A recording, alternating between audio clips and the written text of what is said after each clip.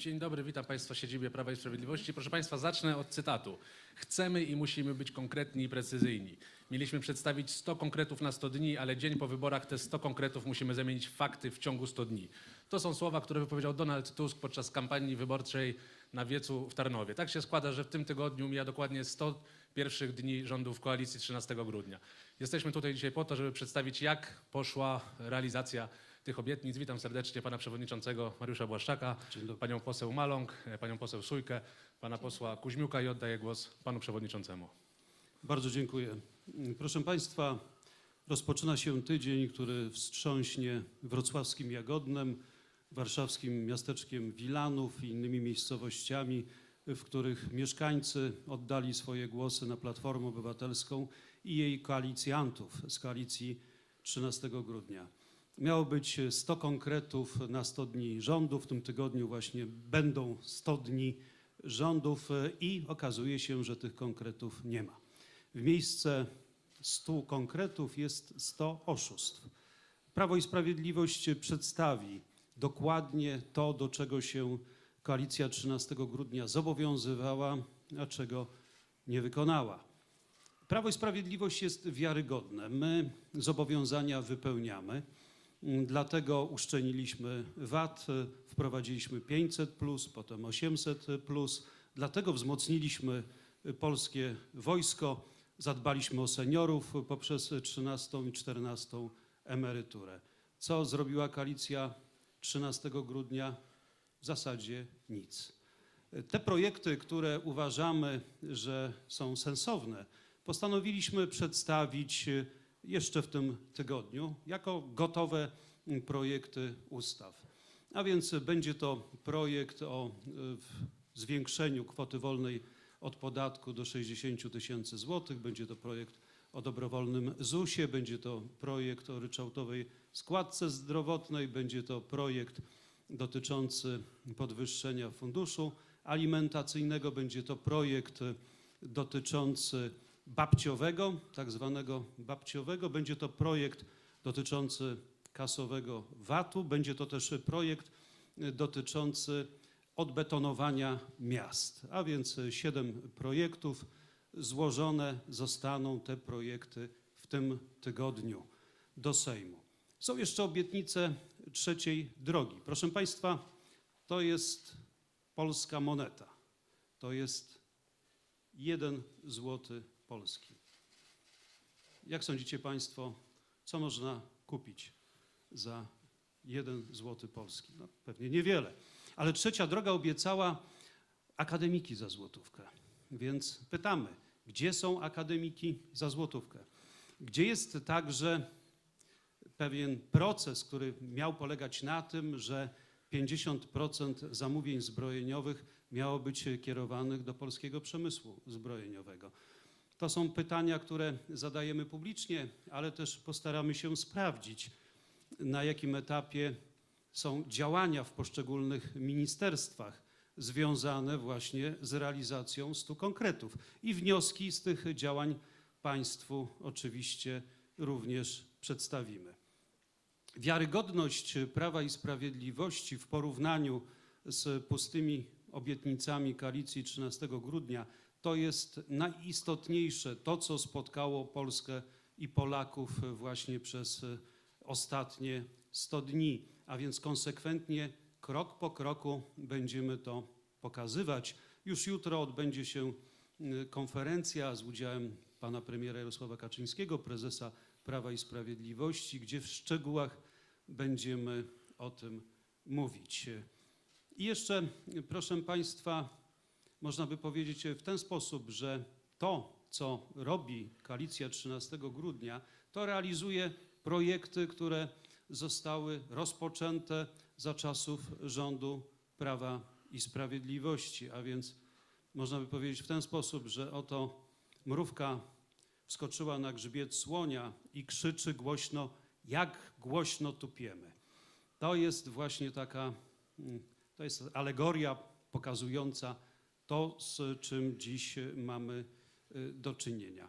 Ale jeszcze poniechano wiele rozwiązań, y, które zostały wprowadzone za czasów rządów y, Prawa i Sprawiedliwości, dobrych rozwiązań y, dla Polaków, bo przecież trzeba pamiętać o tym, że zlikwidowano wakacje kredytowe, trzeba pamiętać o tym, że od 1 kwietnia wejdzie 5% VAT od żywności. Pamiętamy, że za czasów rządów Prawa i Sprawiedliwości VAT na żywność był zerowy, co spowoduje niewątpliwie wzrost cen już w trakcie świąt wielkanocnych i co spowoduje wzrost inflacji. A też trzeba pamiętać o tym, że to rządy Prawa i Sprawiedliwości zapewniły zdławienie inflacji, zapewniły także rozwój gospodarczy naszego kraju, mimo wyzwań, przed którymi stanęliśmy w postaci epidemii, ale także w postaci wojny, która toczy się przy naszej e, granicy. Więc e, o tym też e, należy pamiętać. A jeszcze co nam przygotują na 1 lipca? Otóż przestaną funkcjonować tarcze energetyczne i wybuchną ceny energii od 1 lipca, bo wszystko na to wskazuje, że właśnie nie przedłużą tarcz energetycznych na drugie półrocze y, tego roku, roku 2024. A więc można powiedzieć w ten sposób, że oto w tym tygodniu te biało-czerwone serce, które sobie tak ochoczo wpinali w klapy, pękło. A więc to będzie tydzień, w którym Prawo i Sprawiedliwość pokaże prawdę o złych rządach koalicji 13 grudnia. Dziękuję. Bardzo dziękuję. Teraz proszę panią poseł Marlenę Maląg. Szanowni Państwo, jesteśmy przyzwyczajeni do tego, jako Prawo i Sprawiedliwość, że o Polaków trzeba się stroszczyć. Polityka społeczna Prawa i Sprawiedliwości tak naprawdę jest w naszym DNA. To, co Prawo i Sprawiedliwość zrobiło w ciągu pierwszych 100 dni rządów pani premier Beaty Szydło, następnie pana premiera Mateusza Morawieckiego, tego nie idzie porównać z tym, co obiecano, obiecał Donald Tusk. Tak naprawdę te osiem ostatnich lat, od końca 2015 roku do 2023 roku, to jest tworzenie dobrego czasu dla Polski. Dobrego czasu dla Polski, dla polskich rodzin, dla rozwoju gospodarczego, dla zrównoważonego, dynamicznego rozwoju, aby Polska rozwijała się, aby Polacy mogli z tego korzystać. I my przyzwyczailiśmy Polaków do tego, że jesteśmy wiarygodni, że nie zostawiamy ich w trudnych sytuacjach samych sobie. To w zakresie polityki wsparcia rodzin z dziećmi pan przewodniczący już tutaj wymienił, że i wprowadzenie świadczenia 500, ale przecież i 800 to wprowadziło właśnie Prawo i Sprawiedliwość. Świadczenie matczyne, program Dobry Start, rodzinny kapitał opiekuńczy, bo wiemy, że jesteśmy w takiej sytuacji, że troska o rodziny jest bardzo ważna, sytuacja demograficzna, te wyzwania demograficzne. Tak naprawdę te programy stały się swoistymi programami nie społecznymi, ale społeczno-gospodarczymi. W czasie COVID-u, w czasie toczącej się wojny za naszą wschodnią granicą, one w intensywny sposób wspierały Polaków. I one przyczyniały się, że te środki również trafiają na rynek, a więc potrafiliśmy poradzić sobie z trudną sytuacją, także z inflacją. Seniorzy nie zostawiani zostali sami sobie, bo i godna waloryzacja, 13, 14 emerytura, ale także zmiany wprowadzone w Polskim Ładzie, kwota wolna od podatku, gdzie seniorzy, którzy mają y, swoje świadczenia do 2,5 tysiąca złotych, nie mają odprowadzanego podatku ale także aktywność osób starszych, tworzenie domów, klubów seniora, programy Aktywni Plus, rynek pracy, historycznie najniższe bezrobocie. Szanowni Państwo, kiedy nastał COVID, pamiętamy to, jak z mównicy sejmowej opozycja, a dzisiaj koalicja 13 grudnia krzyczała, ile to osób bezrobotnych przybyło. No i cóż, nie przybyło. Była taka silna interwencja państwa, aby ochronić rynek pracy, aby dać siłę do rozwoju też gospodarczego. Bezrobocie najniższe, ruszyły inwestycje strategiczne, które pomagały samorządom realizować, spełniać marzenia o tym, żeby piękniały nasze małe, lokalne ojczyzny. I te działania są w naszym DNA. A koalicja 13 grudnia obiecała 100 konkretów w 100 dni. Jeszcze wczoraj spojrzałam sobie na to serduszko.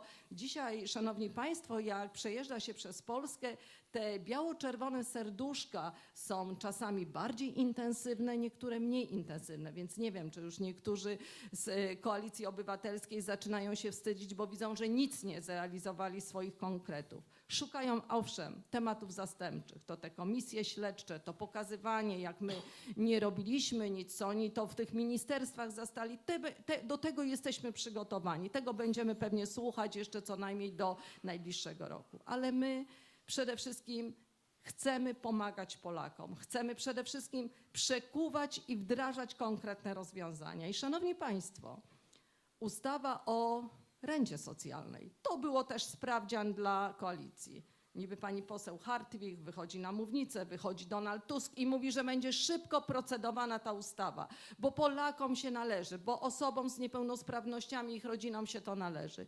I cóż się dzieje?